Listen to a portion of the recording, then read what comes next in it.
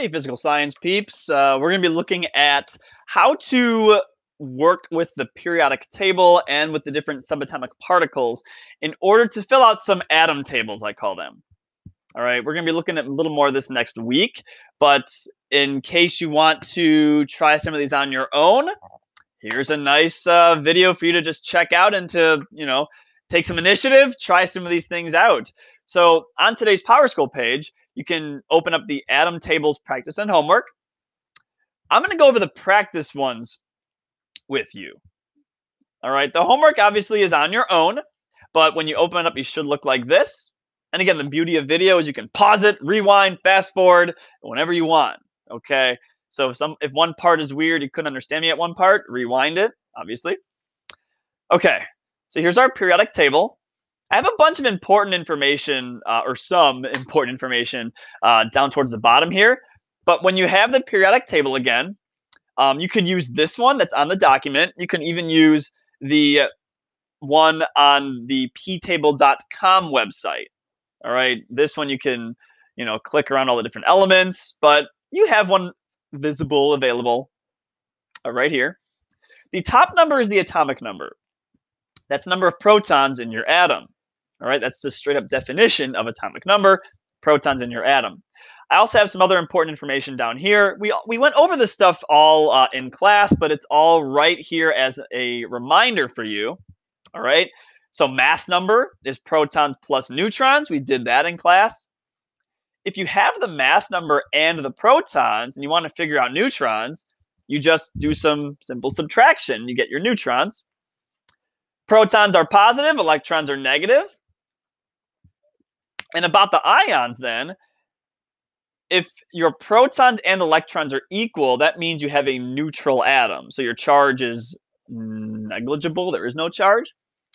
If you have more protons, you have a cation. Remember, cation ions have pause, positive charge, or cat ions. Anions are like onions and make you cry if you cut them, slice them. Anions are negatively charged due to an extra amount of electrons. So for the practice table down here, it might look kind of weird, but all we're doing is we're trying to basically fill in all the blanks here, given the information that you know.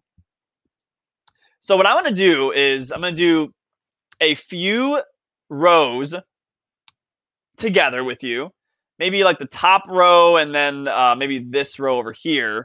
Um, and then I'm going to go fast forward through the rest of them, and you can kind of see what the final answer should be for the practice table. But again, you need to make sure you have your periodic table. So scroll up and use this one, or use the one on the uh, ptable.com site, or any website or any p-table you have available. if yours is in your living room, you can look up at your living room and look at your p-table. That's what I can do if I were in my living room. All right. So nitrogen 14. Nitrogen 14. So what we talked about in class was that the second number here, this is actually your mass number. So every atom uh, has a name to it, obviously. So this one is nitrogen. The second number here is going to be your mass number. So what we're going to do is type in 14 as the mass number. And you see it here in the symbol as well, N14. The number here signifies how many protons and neutrons you have in your atom. The element is nitrogen.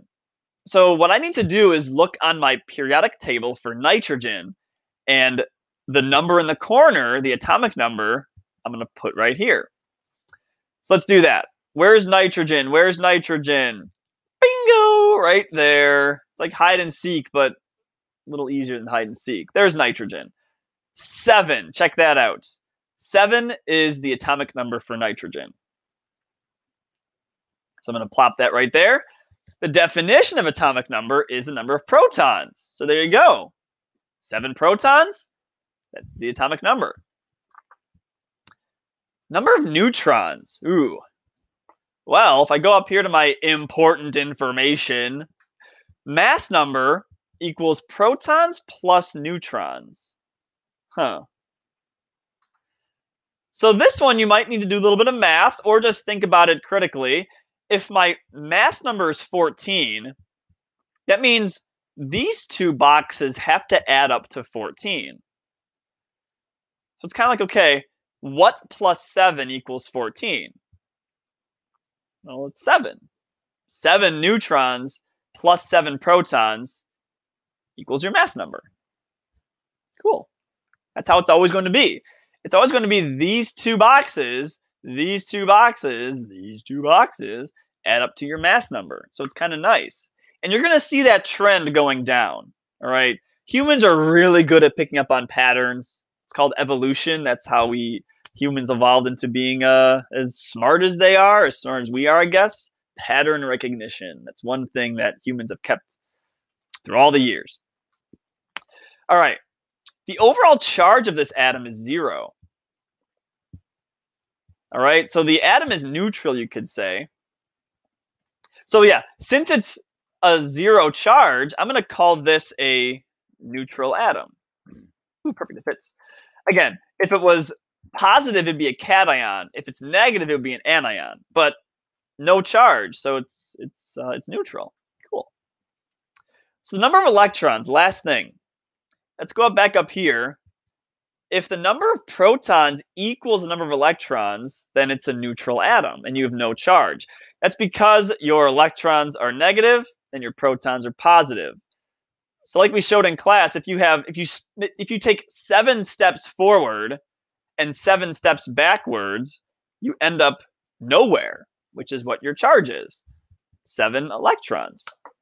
And that is a nitrogen 14 um, element. There we go. Cool. All right. Let's do uh, this uh, this one. Let's do this one. All right, this 1429 one down here. So if you're given the name and the symbol, you can pretty much figure out the rest by just kind of going in order. But if you're not given the name or the symbol and you have you're given this other information, we got to try to figure out using a different method. So first, it's kind of like a weird kind of like a weird puzzle like a brain teaser. Try to find out what to do first. So I look at the atomic number because that tells me so much about what I am working with. Because the definition of atomic number is the number of protons. Well, there we go. I guess I have 14 protons in my atom. And like we said earlier, the mass number is the protons plus the neutrons. So if I know the mass number is 29 and the protons are 14, well, these two have to add up to 29. Well, math tells me that 15 is the empty number here. 14 plus 15 equals 29. Yay, math. Use a calculator if you need to. I'm not going to force you to do mental math, but if you can, do it. All right, so I got to figure out what element I'm using. What element has an atomic number of 14? This is where I go up to the periodic table. Look for number 14, element 14, 14, donde está? Where are you? Bing, bing, bing, bing, bing. There you go. Element 14, C, I found it, silicon, number 14. Here we go. So I'm going to type in silicon. Oops. I'm going to do silicon 29 because that is my mass number. And if you see up here, my mass number is going to go after my element name. It just it's just good to put the mass number there because the mass number is different for pretty much every atom. Every atom's got a bunch of different kinds of mass numbers. So it's good to plop down what it is. So silicon 29. The symbol for silicon is Si, and I'm going to put 29 there. And look, we're already uh, almost done. Overall charge. Okay.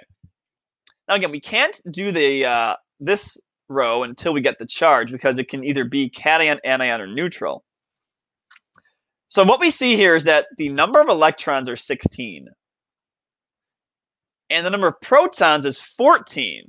Okay. So, oops. So think about this. 16 negatives, 14 positives.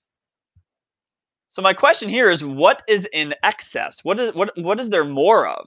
Well, there's more electrons. How many more electrons? Two.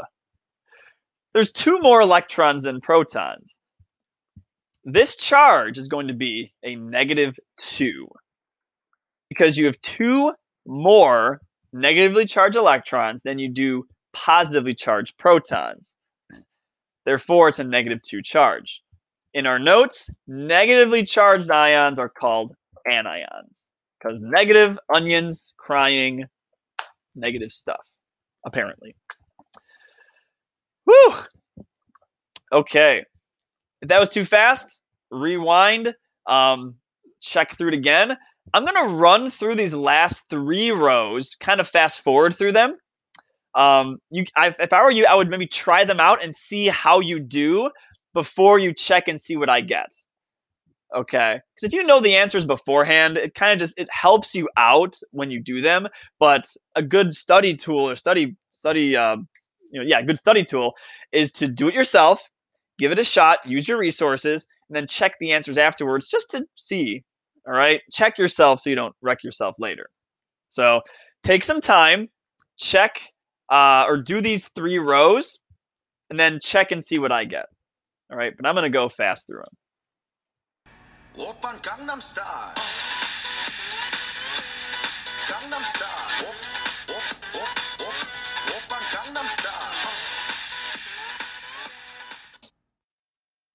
Okay, there we go. So check mine out. All right. Please reach out if it's a little weird. Again, I'm just letting you know we are going to go through a couple more next week. Give the homework a shot though. Okay, if you feel pretty confident in your abilities to fill out some of the tables, don't freak out too much about it. Everything is there. I think some of the hardest parts might be the number of electrons or the charge based on um, how you feel about positives and negatives. But take your time through it. Um, check the if you got the practices correct and you didn't check my answers. Uh, cool. You got any wrong and you really want to uh, figure out what you did wrong and why it's wrong, reach out to me or we can wait till next week. But give the homework a shot. Okay. Um, have a good one. Bye, everybody.